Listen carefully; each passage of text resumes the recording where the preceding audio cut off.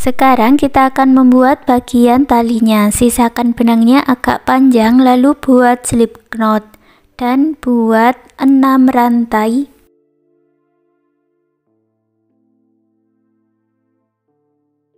Masuk ke lubang rantai berikutnya buat single crochet.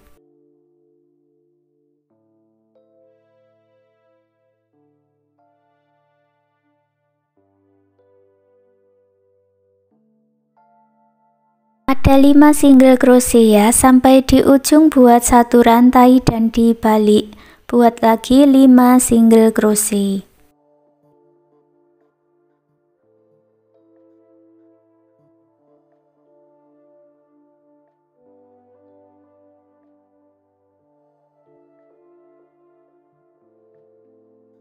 Baris ketiga juga sama, buat satu rantai lalu dibalik, buat 5 single crochet.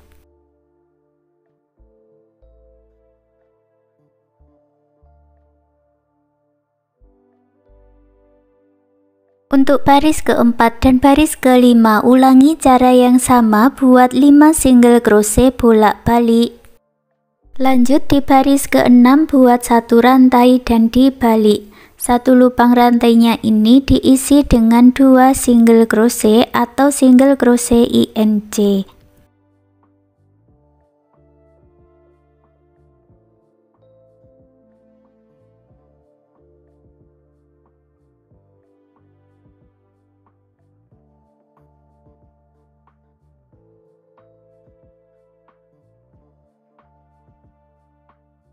Jumlahnya menjadi 10 single crochet ya. Lalu disatukan dengan single crochet yang pertama dengan slip stitch.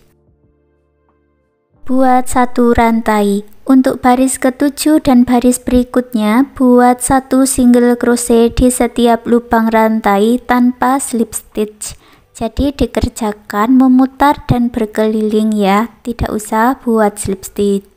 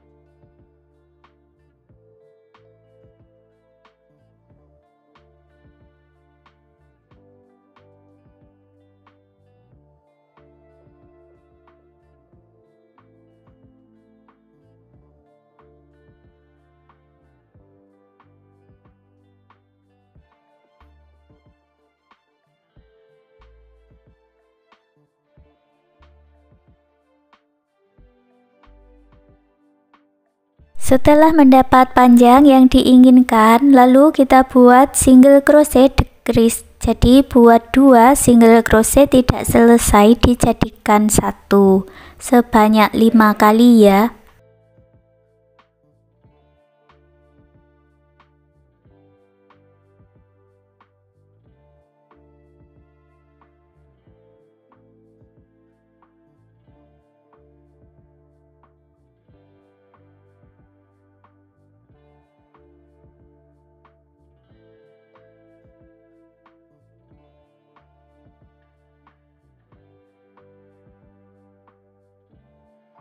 Lalu dibalik.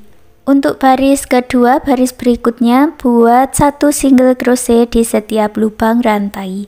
Jadi ada 5 single crochet lagi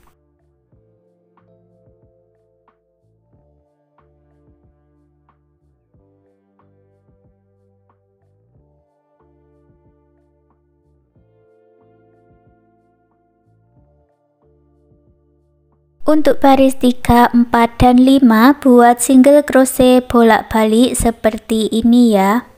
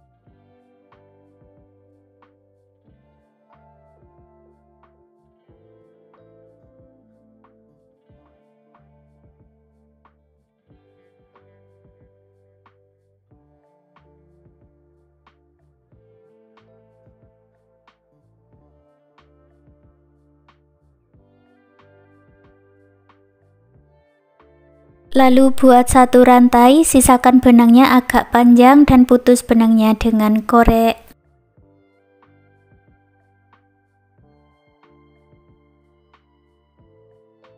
Masukkan sisa benangnya tadi ke jarum tapestri, lalu gabungkan ke bagian tas rajutnya ya.